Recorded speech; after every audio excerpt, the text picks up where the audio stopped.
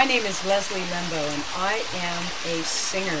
I've been a singer for my whole life. I decided to go to college here in Santa Barbara, and I worked really hard. I graduated with a degree, and when I was done, I said, "What do you want to do?" I want to be a singer. So that's I got my guitar out and I started playing all over the local clubs. Um, oh my gosh, the Harbor, Peabody's, Maggie McFly's, um, all over with my guitar. Uh, then I got a little lonely playing all the time by myself, so I um, started a band called Raw Silk, and we became a oh my gosh, just what a Maserati powerhouse funk band. We played everywhere, all the events. I mean, you name it, we played it.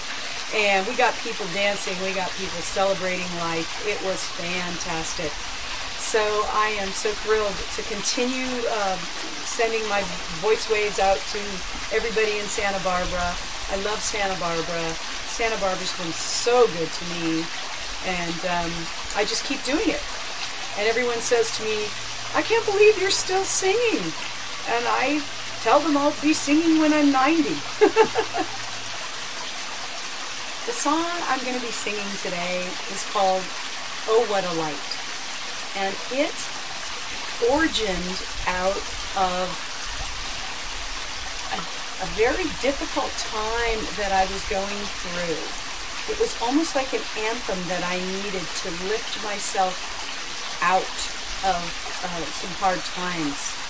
And it's funny how it happened. I was I was in the I was backpacking in Yosemite and I was near this beautiful river on these huge granite rocks and I had my little, you know, backpacking guitar, and I started playing these chords, and this song emerged, and um, the chorus emerged.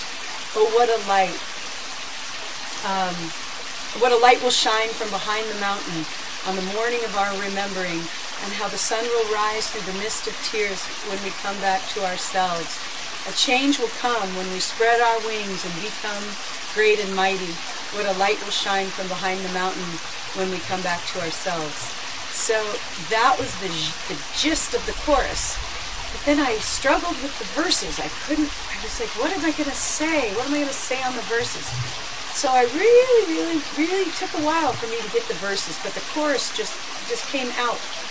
And um, I had just read a, a, beautiful book by Marianne Williamson um, called Returning Returning to Love, Return to Love, I think is what it was called. And so she gave me a lot of inspiration. And um, so um, I actually ended up recording this song in Nashville uh, when I was working on a record project there. And I didn't like quite the way it sounded. So when I came back to Santa Barbara, um, I worked with uh, a wonderful guitarist named Dan Zimmerman, and we co-produced this version of it. And um, I hope that this song uh, helps you like it helped me when I needed it.